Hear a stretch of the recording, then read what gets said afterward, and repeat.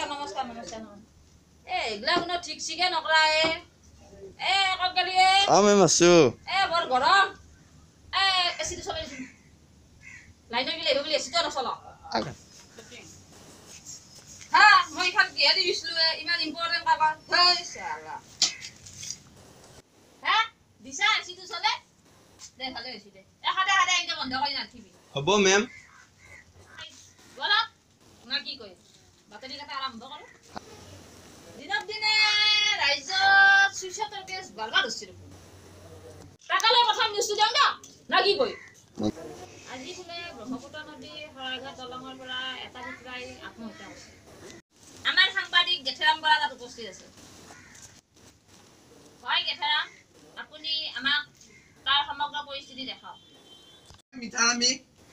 আপোনালোকক আমি জনাইছো যে ৰাইজ কিছু সময় আগতে আমাৰ গুৱাহাটীৰ ব্ৰহ্মপুত্ৰ নদীৰ শৰাইঘাট দলঙৰ পৰা এটা পিপৰাই বোলে আত্মহত্যা কৰিছে। কিনো কম চব দেশত ধ্বংসাধংসি চলি আছে। যাৰ কাৰণে আজি সমগ্ৰ পিপৰা সন্থাই প্ৰতিবাদ কৰিছে। মই সেই অনুষ্ঠানতে বৰ্তমান উপস্থিত আছো। আচলতে পিপৰাটোৱে বোলে এটা মতা পিপৰাক ভাল পাইছিল। আৰু মতা পিপৰাটোৱে আজি সেই পিপৰাটোক এৰি কিনে বেলেগ এটা পিপৰাক বিয়া কৰাইছিল যাৰ কাৰণে পিপৰাই প্ৰতিবাদ কৰিছে আৰু বৰ্তমান ছোৱালী পিপৰা সন্থাই মানে এই যিটো সৰু চুইচাইড কৰা পিপৰা সন্থাৰ পৰিয়ালটোৱে সমগ্ৰ অসমত প্ৰতিবাদ কৰিছে।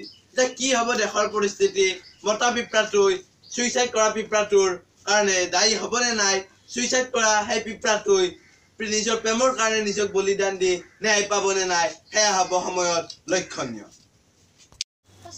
মতা ইপৰাটো বা মাইকী ইপৰাটো কিয় বিয়া নকৰলা কথাটো জানিব পালে ভাল আছিল এইবিলাক এইবোৰ কথা জানিব পাৰিলে ভালো লাগে নহয় হেই, মহ। হেই, এই কাছ চাছ জ্বলাই দিয়া নাই দিয়া নাই মহ এতিয়া আৰম্ভ কৰিছো ছেকেণ্ডটো নিউজ কৰিলি আজি চহৰৰ মেথেৰা মটৰ লেট্ৰিনত নিয়া আধা ভঙা বাল্টিংটো বোলে সন্ধানী হৈছে যাৰ কাৰণে সিহঁতে বোলে পুলিচ থানাত এখন এফ আই আৰ দিছিল পৰিয়ালটো একেবাৰে দুখতে মৰি যাওঁ যাওঁ হৈছে গেঠেৰামে আমাক দেখি এখন প্ৰতিবেদন আনিছে চাম দিয়কচোন এই মুহূৰ্তৰ বিগ ব্ৰেকিং নিউজ আমি ফাল্টু নিউজ দৰ্শকসকলক জনাইছো যে কিছু সময় আগতে মহানগৰীৰ এই মেথেৰা মটৰ ঘৰতে সন্ধানহীন হৈছে এটি লেট্ৰিনক নে আধা ভাঙা বাল্টিংটো। তাৰ বাবে ফেমিলিৰ আটাইকেইটাই শোকত কান্দি আছে। মই সাংবাদিকক কেমেৰামেনক দেখাবৰ কাৰণে অনুৰোধ জনাইছো ঘটনা যাৰ কাৰণে কৈ কৈ শান্তিত থাকিব পৰা নাই এই গোটেই ফেমিলিটো। স্থানীয় থানাত এখন স্থানীয় থানাত এখন এজাহাত দিছে যদিও ঘটনাৰ কি হ'ব পৰৱৰ্তী ভৱিষ্যত জানিব পৰা নাই। মই এই মুহূৰ্তত ফেমিলিৰ এজন ব্যক্তিক ঘটনাৰ বিষয়ে সবিশেষ ৰহস্য জানিবলৈ ইচ্ছা কৰিম। আপোনাক সুধিছো আপুনি জনাই দিয়ক কোনদিনা আপোনালোকৰ লেট্ৰিনক নে আধা ভাঙা বাল্টিংটো সন্ধানহীন হৈছে? আজি ৰাতিপুৱা আপুনি কি ক'ব বিচাৰিব? কোনোবাই চুৰ কৰিছে না ডকাইত কৰিছে? আপোনাক কোনোবাই হত্যাৰ ভাবুকি দিছিল নেকি ডকাইত কৰিছে মই বন্ধুক দেখি লেট্ৰিনৰ বাথৰুমটো লৈ গৈছোঁ হয় এই মুহূৰ্তত বিগ ব্ৰেকিং নিউজ আমি দেখুৱাইছো যে ইমানে ডকাইতৰ উপদ্ৰৱ বাঢ়িবা ধৰিছে যে এই মেথেৰা মটৰ ঘৰত যে ডকাইতে বন্দুক দেখি কিনে আধা ভাঙা লেট্ৰিনটোৰ বাল্টিংটো লৈ গৈছে। মই লেট্ৰিনটো কেমেৰা পাৰ্চনক দেখাবৰ কাৰণে অনুৰোধ জনাইছো। এইটোৱে হৈছে এই বিশেষ লেট্ৰিনটো আমাৰ আগৰে যিটো এংকাৰ আছিল সেইটোৰ পৰা মূৰৰ বিষ উঠিলা। সেইকাৰণে বাকীকেইটা নিউজ বনাবা মোকে দিলা। তেনেহ'লে মই এইবাৰ নিউজো বনাম প্ৰতিবেদনো বনাম। না কি কয়? তেনেহ'লে তৃতীয় নিউজটো আগবাঢ়ো দিয়ক আজি মহানগৰত এটা আজব ঘটনা সংঘটিত হৈছে। এই গুৱাহাটীৰ একখিৰি মানুহ তাত কি হৈছে আপোনালোকে জানে না? তাহাৰ বৰষুণ দিছে। বৰষুণত মানুহৰ কি পৰে? শিল পৰে পানী পৰে। তাহাঁতৰ বৰষুণত দামী দামী গল্লা দামী দামী ৰসগোল্লা পৰছে আমাৰ সাংবাদিক মানে মই সেই জাগাখিনিত উপস্থিত আছিলো। গতিকে মই এটা নিউজ বনাইছিলো। আপোনালোকক নিউজটো মই দেখাই দিম চাই লওক আপুনি কি ক'ব বিচাৰিব এতে এমাখা মানুহ আছে তহঁতে মোকে ধৰিলি না বেলেগ সুধিব নোৱাৰিলি না? হয় এগৰাকী ব্যক্তিয়ে বিশেষ এটা ধুনীয়া মন্তব্য দিছে তেখেতে নিজে ক'ব নোৱাৰে কাৰণে বেলেগ গেলে ঘটনাটো পঠিয়াই দিছে। এতিয়া আমি ছেকেণ্ডটো সুধিম আহকচোন কি হয়। আপুনি কি ক'ব বিচাৰিব আপোনাক কথা ক'ব দে নাই? আপুনি কথাটো কি ক'ব? মই কি গাম? আপোনাক কথাটো ক'বা দিছো। মই কথা গামেই। হে হৰি কি যি মানুহ আহিছে এই ঘটনাটোৰ লগত আপুনি কি ক'ব বিচাৰিব? আমাৰ ঘৰৰ মাক্সা মাৰি লওক মাক্সা মাৰি লওক। আমাৰ ঘৰত এখন পূজা আছে। অ পূজা আছে তাৰপিছত পূজাখনততো বহুত মানুহ আহিব। অ বহুত মানুহতো আহিবয়ে। মানুহক চাহ খুৱাব লাগিল। অ চাহটো খুৱাবই লাগিব। মইতো মাহত মাত্ৰ দুই লাখ টকাহে পাওঁ। আপুনি মাহত দুই লাখ টকা দৰমহা পায়। অ। আপুনি ইমান ডাঙৰ ইমান কম দৰমহা পায় মাহত। মাত্ৰ দুই লাখ টকা পায়। অ বহুত কম। অ এই দুই লাখ টকা দি ইমান মানুহ পাঁচশ মানুহক মই মিঠাই খুৱাব পাৰিম আপুনিয়ে কওকচোন। মানে আপুনি দুই লাখ টকা চেলাৰী পায়। সেই দুই লাখ টকা দি আপুনি পাঁচশ মানুহক লাল মই এটা এটা খুৱাব নোৱাৰে মানে সক্ষম নহয়। নহয়। আপোনাক আৰু বহুত চেলাৰী প্ৰয়োজন। লাগে। আপুনিতো গম পায় এইকেইদিন বহুত বৰষুণ দি আছে। অ বহুত বৰষুণ দি আছে একেবাৰে ধাৰা পিতা বৰষুণ দি আছে। সেইকাৰণে মই ভগৱানক প্ৰাৰ্থনা কৰিছিলো হেৰি আমাক বৰষুণৰ সলনি ৰসগোল্লা দিয়ক দিয়াৰ বাবে। হয় মানে আপুনি ভগৱানৰ ওচৰত প্ৰাৰ্থনা কৰিছিল যে আপোনালোকক বৰষুণৰ সলনি পানীৰ সলনি আপোনালোকক ৰসগোল্লা ফেল দিবা লাগে। আৰু ভগৱানে কথাটো শুনিছে? অ শুনিছে। আচ্ছা আপুনি বাৰু বহুত চিপৰা মানুহ নেকি হয়।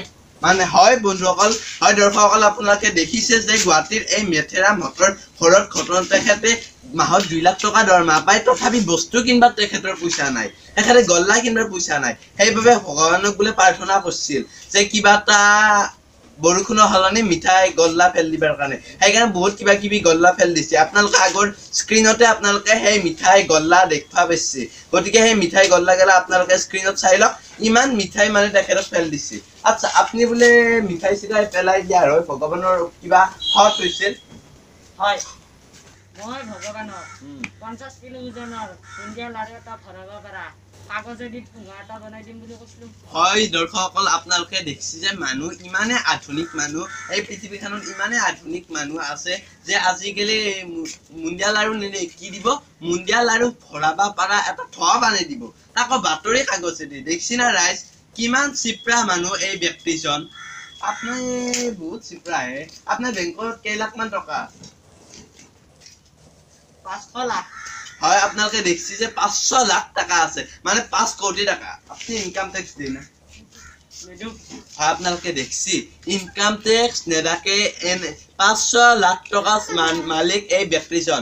গতিকে আপোনালোককে কৈছো এনেকুৱা মানুহ হবৰ কাৰণে আপোনালোকে শিকক দহজনক এনেকুৱা মানুহ হোৱা আদি- আইদা কাইদা বিলাক শিকাই যাওক এতিয়া লৈছো এটা ডাঙৰ। বিৰতিৰ মাজত লাগি আৰু ঘূৰিছো দা? তাৰে আগতে অলপ চাহকে খাই লওঁ দক হা কি হে সদায় সদায় চাহকে দিব পাহৰা এই লৈ আহ চাহ খোজ খোজকাঢ়ি এই চাহ নাই দিয়ক, আজি পানীয়ে খাওক। দে পানী খিনিয়ে দে ভালকে দা সদায় সদায় পানী নেদবা চাহকে লৈ দা কালিৰ পৰা আজি গুৱাহাটীত এটা মানুহ মৰছি কি বা হৈ মৰছি আমাৰ এই এটাক সুধি চাওঁ দিয়কচোন কি বা হৈ মৰছি হয় মেথেৰাম এ এইবিলাক কি লিখছি এ এ আকাশ চাকাশ চিনিও নাপাওঁ নহয়। বিগ ব্ৰেকিং নিউজ কিছু সময় আগতে এই ঘৰ মানুহ তাতে এটা বিৰাট ডাঙৰ এটা মানুহ মৰিছিল যাৰ কাৰণে এই ঘৰ মানুহে ডাক্তৰৰ ওপৰত কেছ দিছিল ঘটনাটো যদি আপোনালোকে ভালকে জানিবা বিচাৰে মই বিৱৰি কবা লাগিব। আৰু আগতে এই গৰম চশমাযোৰ সোমাই লওঁ দক। ভালকে চশমা নোসোমাই দেই মানে কি হৈছিল জানে না এইখিনি মানুহ তাত এটা মানুহৰ এটা বেমাৰ হৈছিল এই অস্ত্ৰৰে ডক্তৰখানাত ডক্তৰক দেখিছিল। ডক্তৰে বোলে কেইটামান ঔষধ এই ঔষধ লিখি দিছিল কিবা কিবি। আৰু ডক্তৰে কৈছিল এইকেইটা ঔষধ আহাৰৰ পিছত খাব। আৰু এই মানুহগিলে আহাৰ মাহগিলে ৰখি থাকাতে এই জেঠ মাহতে মৰিলা বহাগ মাহতে বেমাৰটো দেখিছে ডক্তৰে আহাৰৰ পিছত ঔষধ খাবা দিছে এখন আহাৰ মাহগিলে ৰখি থাকাতে ঘটনা মানুহটো মৰিলাকে যাৰ কাৰণে এতিয়া এখন ডক্তৰৰ ওপৰত কেছ দিছে। দেখছি না কি বুৰ্বক মানুহ। ডক্তৰে কৈছে আহাৰৰ পিছত খাবাক গেলি এখন আহাৰ মাহগিলে ৰখিয়ে আছে। কি কম? আপোনালোকে এই হিৰি মানুহৰ গৃহস্থৰ বিষয়ে কিবা জানিবা বিচাৰিব নেকি? কি ক'ব বিচাৰিব? মানুহটো যে মূল্যাক এতিয়া কি ক'ব? মই একো ক'ব নাজানো মই পুল- পুলিচ কেছ দিম। আপুনি পুলিচ কেছ কিয় দিয়ে দিমে। দিম আপুনি পুলিচ কেছ দিবই দিমে। বুৰ্বকো থাকে এনেকুৱা বুৰ্বক মানুহ থাকে না এতিয়া বোলে পুলিচ কেছ দিব। কোনখান থানা আৰ কেছ ৰাখে চাই লওকচোন।